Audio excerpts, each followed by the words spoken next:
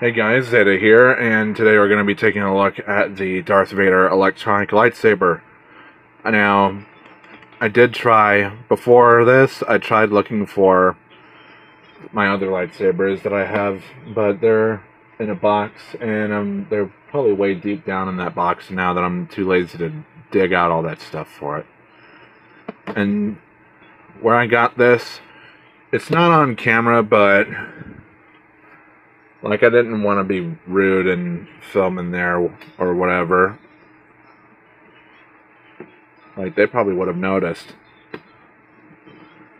And I was with family, so I didn't want to look stupid.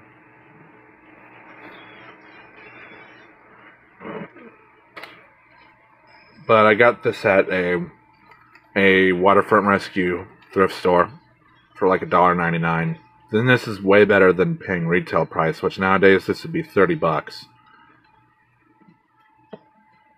And just for the hell of it, for a quick size comparison, here's one of the hands I made for the cardboard Unicron, which I'm still working on it, but I'm just too lazy to finish it at the moment. So, fuck off.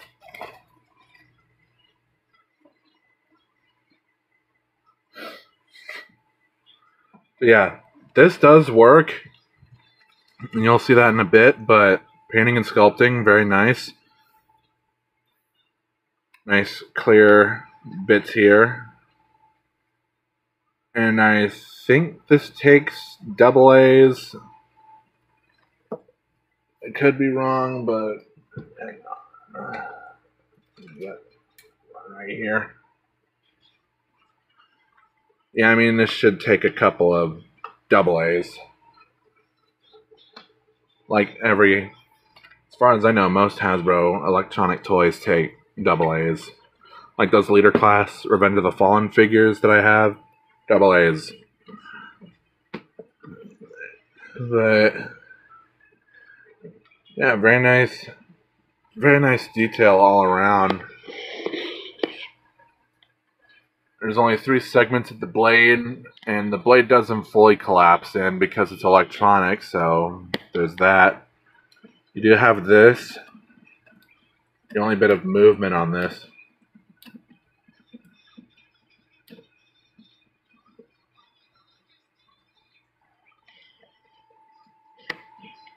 Nice silver paint and little clear bits right here on the button. Nice and slim too.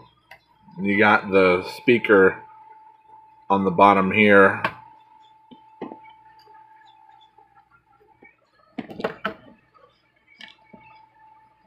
And yeah, it does light up. You just flick it.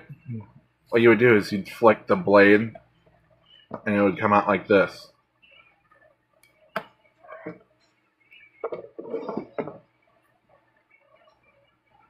And uh, we'll be right back.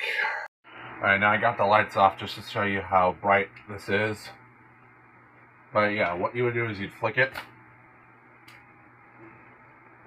and press the button here.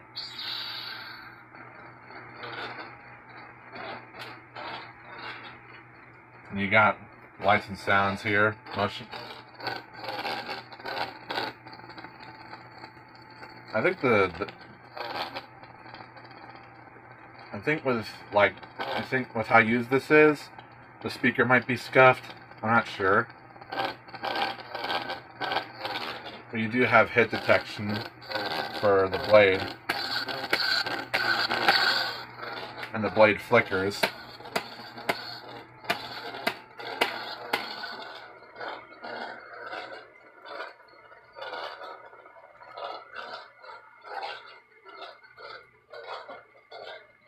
The blade lights up pretty nice.